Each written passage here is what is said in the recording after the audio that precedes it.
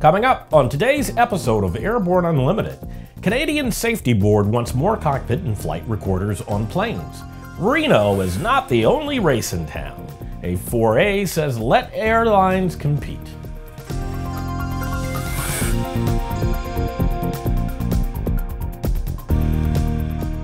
Hello, I'm Christopher C. Odom. It's October 21st, 2016, and this is Airborne Unlimited.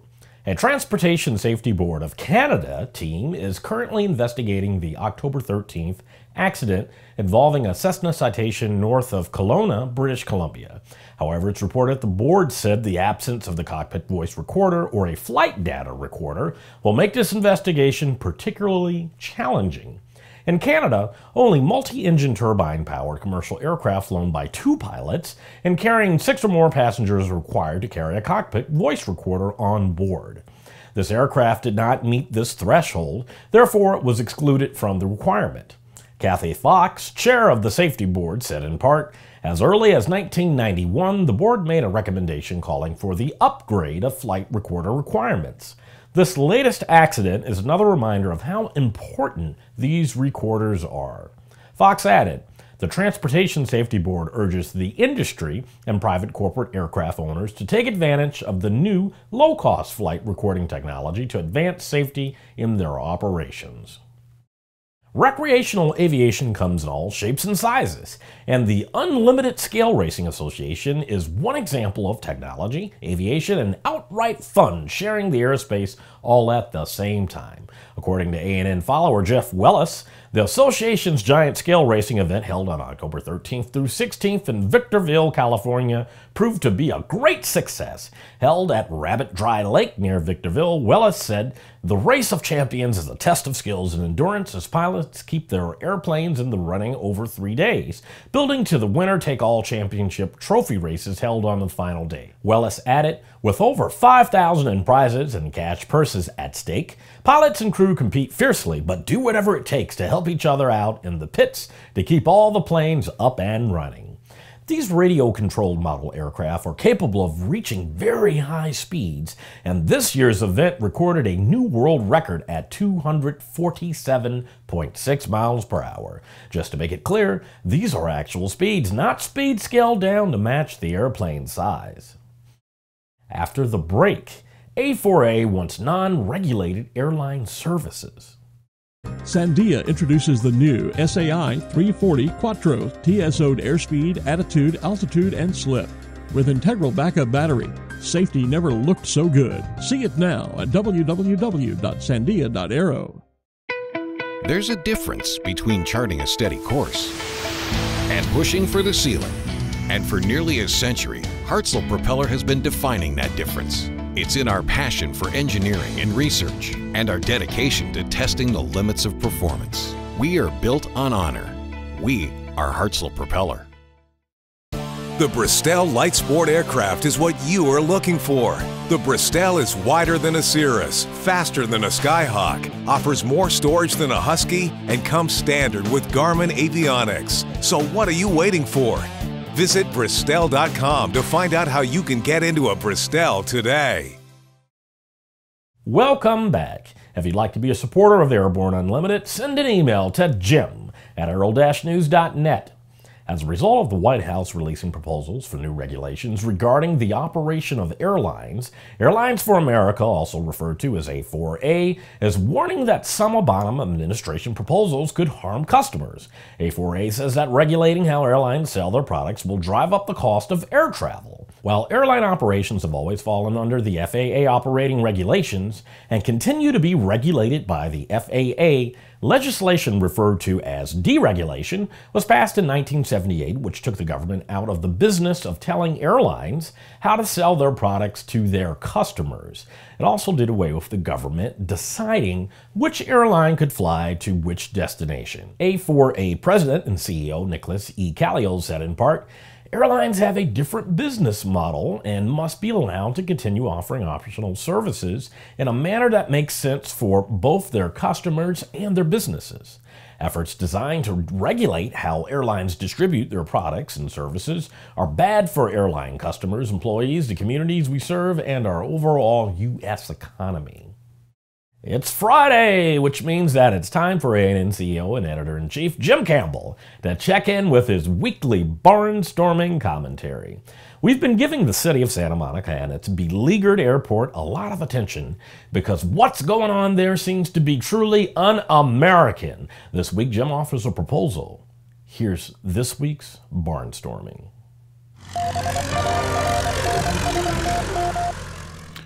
Thanks, Chris, and hi, folks. Well, we've been doing a lot of thinking about some of the issues that are out there, and there was a memory in the deep dark past that I have. We were all giggling because that morning we had published our version then of our April 1st episode. It was a lot of fun, a lot of silly things going on, and amongst that was this horrible story about bulldozers coming in and demolishing Meigs Field and in the beginning, nobody could believe it was real. That somebody would take such a uniquely American icon, such a useful device as an airport, and destroy it.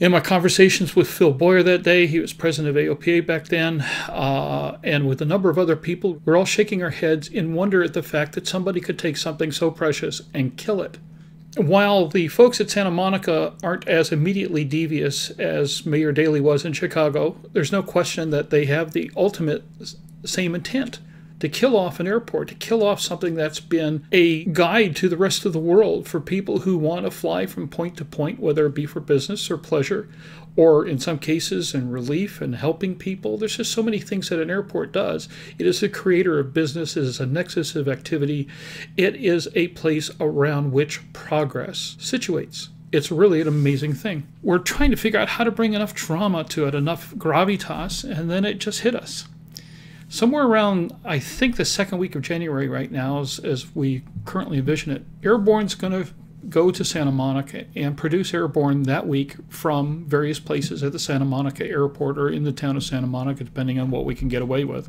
In addition to doing Airborne each day, we're taking some of our best documentarians, some of our best shooters, some of our best interviewers, and we're going to go out, shoot a lot of B roll, a lot of interviews, put together as much data as possible, both for small pieces as well as a larger documentary piece, to explain to the rest of the world what Santa Monica was, the immediate history, and where it seems to be going, and how we can fix it so that we can maintain Santa Monica as an airport of use to the community and the rest of the world. It's not going to be easy. It's an interesting idea. We've reached out to AOPA and EAA and NBAA and a number of others. They all seem very supportive, and we've gotten some great advice and a lot of uh, interesting uh, insights into what's been going on. Uh, spoke to Raul Murrow and a number of other people who have been active within the Santa Monica community for decades. And there's a lot to this story but it needs to be told. It needs to be told in one fell swoop, and we need to arm the rest of the industry with more material. The result of this is one airborne every day, two, a lot of smaller features about the highs, the lows, the positives, and negatives, and then finally some documentary work. And then above and beyond that, we're going to take our B roll, we're going to take these vignettes, we're going to take the records that we're going to copy and turn into digital format, and we're going to make a B roll and uh, graphic archive so that the rest of the aviation community can utilize this in their own way to help save Santa Monica, to add to the mix, to be able to utilize these materials in any way. Our competitors can use it, the industry can use it. We don't care. We just want to support Santa Monica. We want to keep Santa Monica alive. And most important, we want to keep one more jewel in the aviation aeroverse alive and well so that our kids will enjoy it and their grandkids will too. So that airports and the freedom they represent can truly stay and be free. For the Aero News Network Airborne, after these messages, NASAO selects a new president. Redbird Flight Simulations is dedicated to revolutionizing flight training by designing, manufacturing, and delivering affordable and innovative flight training technologies. Each Redbird device is designed to enhance the training experience for pilots of all levels, from student to ATP. Redbird is quickly becoming the industry standard for flight training. Since Redbird introduced its revolutionary FMX in 2007, colleges, universities, and flight training operations around the world have integrated Redbird products into their curriculum. It's time to discover what Redbird can do for you. Join the migration. Based on the popular Sling 2 LSA, the Sling 4 was designed to be the most practical and desirable lightweight four-place experimental aircraft on the market. Find out more about this 115 horsepower turbocharged airplane at airplanefactory.com. Concorde's recombinant gas RG series sealed battery technology produces a high performance battery with the advantages of being pre tested and fully charged at the factory. Find out more about Concorde's entire line of batteries at www.concordbattery.com. Concorde, the heart of your aircraft. Explore no limits flying in the FAA certified SeaRey Amphibious LSA, one of the top three best selling LSAs in the U.S. Progressive Aerodyne SeaRey comes equipped with a Rotax engine and exhibits extraordinary handling on land, water, and in the air. Check it out at www.searey.com. With so much news coming out of the aviation industry, we're summarizing a few of those other great stories in a brief segment we call Around the Patch.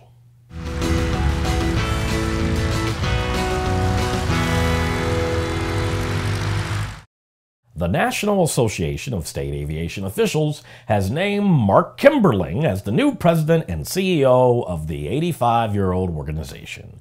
Before joining NASAO, Kimberling served as the National Director of State Government Affairs at the Aircraft Owners and Pilots Association. GE Aviation has completed the initial ground testing of the first full GE 9X development engine that will power Boeing's 777X aircraft. The company says the engine is living up to their expectations, and they are extremely pleased with the results. The 1000th H-60M Black Hawk helicopter has been delivered to the United States Army. There are currently 2,135 H-60 Black Hawk helicopters in service, making the Army's Black Hawk helicopter fleet the largest flying fleet of all the services.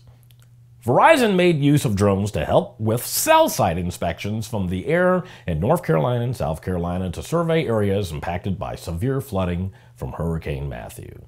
The unmanned aerial systems are being operated by Measure UAS Incorporated. FAA Administrator Michael Huerta joined federal and local officials on Tuesday to dedicate the new air traffic control facility at McCarran International Airport a taller tower, which is the second tallest in the country, was needed to provide controllers with better airfield views. Well, that's it for today's trip around the patch. Now let's get back to the rest of the news. Here's another update from the beleaguered airport in Santa Monica, California. The city of Santa Monica's starvation strategy of killing legitimate businesses on the airport in order to put the airport itself out of business have now been stymied by the FAA. The city of Santa Monica sent eviction notices to two FBOs saying they had to vacate their facilities by October 15th. Now, the Los Angeles Times reports that the city has postponed those evictions while the FAA continues to investigate the matter. According to the report, the agency will meet October 28th to consider whether the city can replace the independent businesses on the airport with a city run operation. The city continues to deny this is an intentional plan to make the airport unusable because of lack of service and says they are prepared to operate the fixed base operation as a city function. As we reported on Airborne Unlimited last week, a famed restaurant located on the airport has also announced it will close due to a trifold increase in rent being charged by the city. Well, that's our program for today.